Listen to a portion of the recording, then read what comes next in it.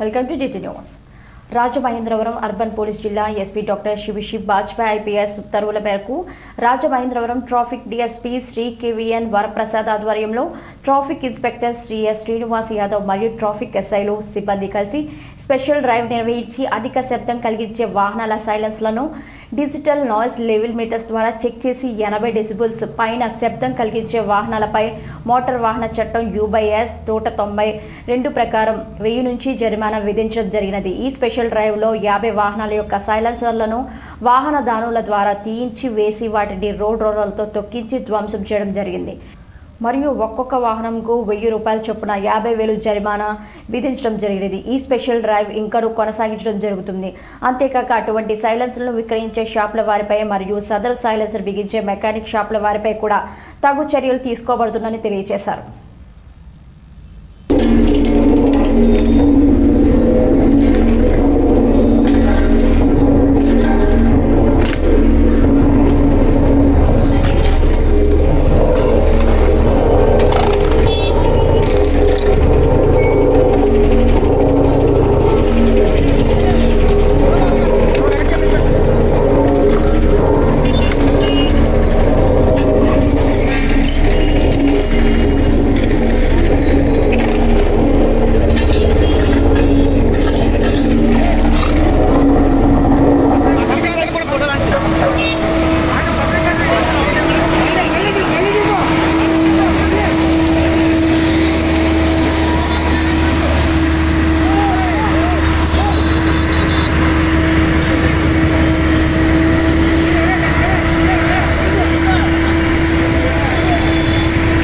voando.